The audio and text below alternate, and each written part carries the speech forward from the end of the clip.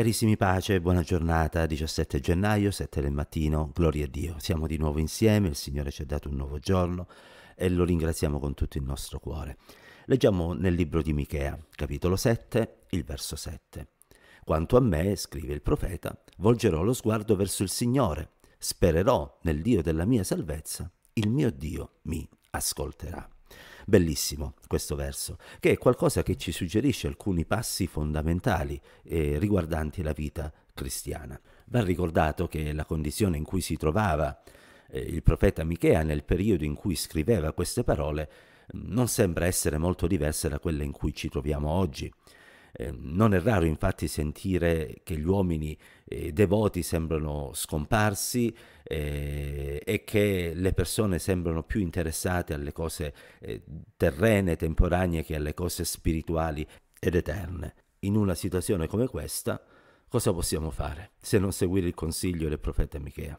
Quanto a me, dice il profeta, è un po' come se lui volesse dire non mi interessa di quello che fanno gli altri, non mi interessa eh, di ciò che accade intorno a me, io voglio fare una scelta personale per la mia vita, quanto a me. Scegliete oggi, disse Giosuè, il condottiero, alla fine del suo ministerio terreno, chi volete seguire. Lo disse a tutto il popolo di Israele. Ma quanto a me, noi serviremo oh, insieme alla mia casa il Signore. È una scelta personale e Dio ci aiuti a fare questa scelta, la scelta di guardare a Dio, perché dice Michea quanto a me volgerò lo sguardo verso il Signore. Non terrò lo sguardo cioè sulle cose terrene, non mi concentrerò in modo esclusivo su di esse, ma mi concentrerò e guarderò innanzitutto e prima di tutto alle cose spirituali. Se siamo stati risuscitati con Cristo, scriverà Paolo ai Colossesi, lo leggiamo nel capitolo 3, cercate le cose di lassù, dove Cristo è seduto alla destra di Dio. Aspirate alle cose di lassù, non a quelle che sono sulla terra.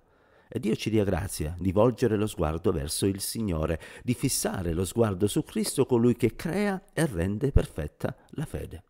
Quanto a me, scrive il profeta Michea, io volgerò lo sguardo verso il Signore e spererò nel Dio della mia salvezza.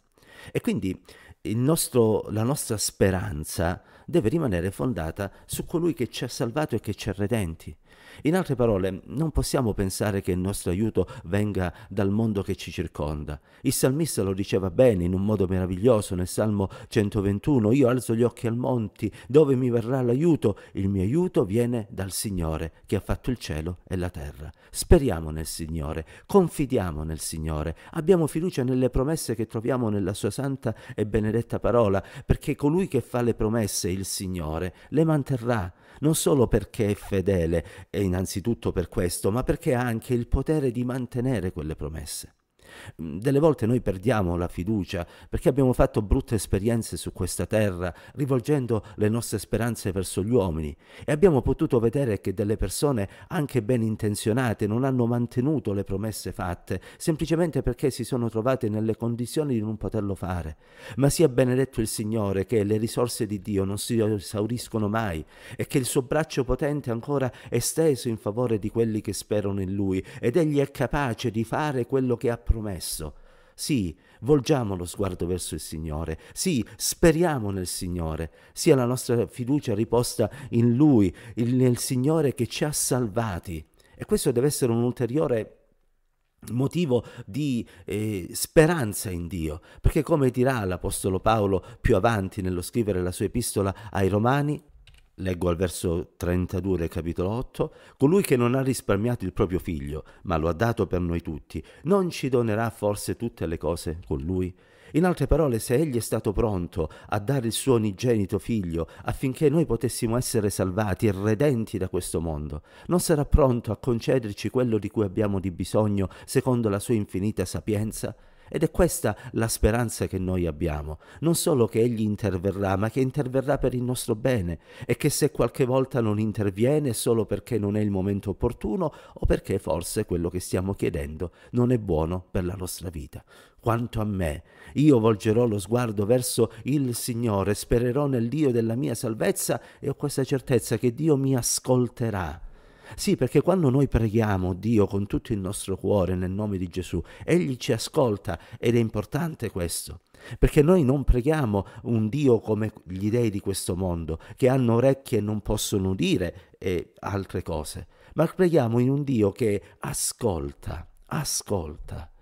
E delle volte ascolta anche i nostri silenzi, le lacrime versate nel buio quando nessuno ci vede, Lui le ascolta nelle nostre distrette, egli è con noi nella distretta. E come fece in passato col suo popolo e con tutti coloro che speravano e confidavano in lui, egli poi interviene per liberare. L'Apostolo Paolo scrisse ai Corinzi, seconda epistola capitolo 1 dal verso 8, non vogliamo che ignorate l'afflizione che ci colse in Asia, siamo stati molto provati oltre le nostre forze, tanto da farci disperare perfino della vita Anzi, aggiunge l'Apostolo, avevamo già noi stessi pronunciato la nostra sentenza di morte, affinché non mettessimo la nostra fiducia in noi stessi, ma in Dio che risuscita i morti. Ma Egli ci ha liberati e ci libererà ancora. Ed è bello questo grido di trionfo di Paolo, questa certezza. Egli ascolta, egli interviene, egli libera e continuerà a farlo, fino al giorno in cui dovremo comparire nella sua presenza e lì non avremo più bisogno di liberazione. Lì contempleremo la gloria di Dio, vedremo il suo figlio faccia a faccia e godremo con lui per tutta l'eternità.